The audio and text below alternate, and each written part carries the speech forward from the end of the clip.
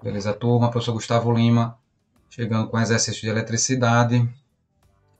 Hoje com questões, com uma questão de disjuntores. Você sabe determinar a corrente nominal desse dispositivo? Então fique até o final desta aula, é logo após a vinheta.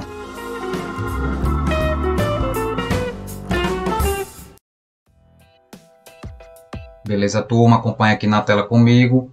Um eletricista deve instalar um chuveiro que tem as especificações de tensão 220 volts e potência entre 4.400 a 6.800 watts. Para a instalação de chuveiros, recomenda-se uma rede própria com fios de diâmetro adequado e um disjuntor dimensionado à potência e à corrente previstas, com uma margem de tolerância próxima de 10%.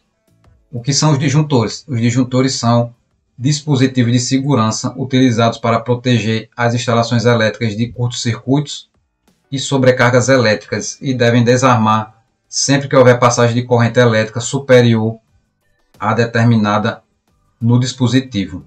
Então, o tomo disjuntor é uma chave que opera por dois princípios.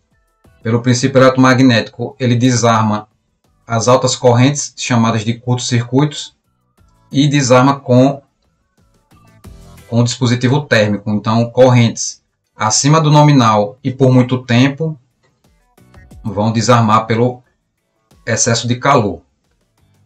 Então, para que não ocorra diversos desarmamentos dentro da instalação, o dispositivo deve ser projetado adequadamente. Vamos aqui para a próxima tela. Para fazer uma instalação segura desse chuveiro, o valor da corrente máxima do disjuntor deve ser.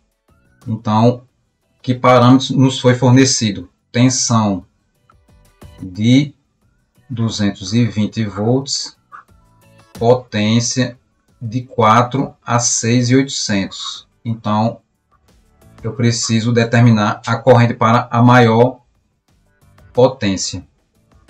E o, a determinação da potência passa pelo conhecimento da seguinte expressão: potência é a tensão vezes a corrente. Então podemos isolar o valor da corrente, a letra I de intensidade de corrente e ficar com a expressão P sobre V. Então teremos 6.800 dividido por 220. Ao cortar aqui um zero com um zero, ficamos com 680 dividido por 22.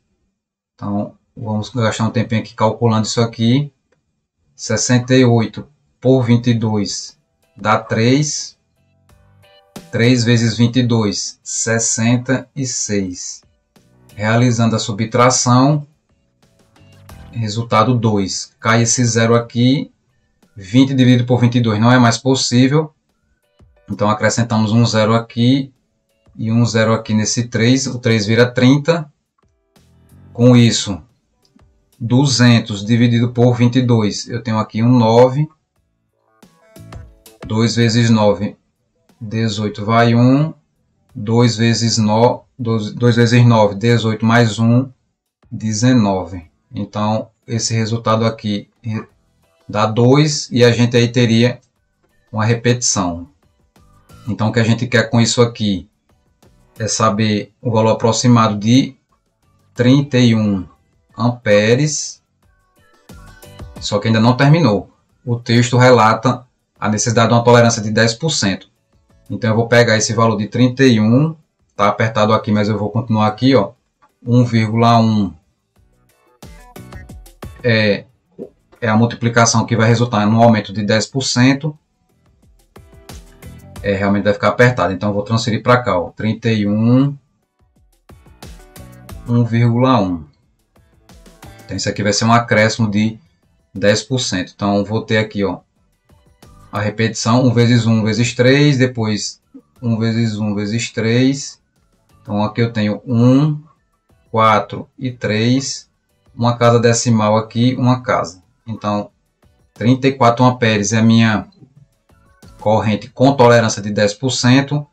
É nesse valor aqui de 34 que eu vou procurar qual a corrente nominal para o disjuntor.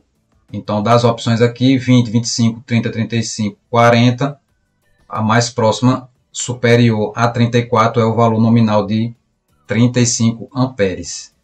Beleza? Então, turma, vamos ver aqui a resposta correta. Confere, 35, show de bola. Vamos finalizar. Beleza, turma. Professor Gustavo Lima finalizando mais essa videoaula. Qualquer dúvida, comente ou mande por e-mail. Peço seu like e sua inscrição para fortalecer o trabalho do canal. Fico por aqui, até a próxima, um forte abraço.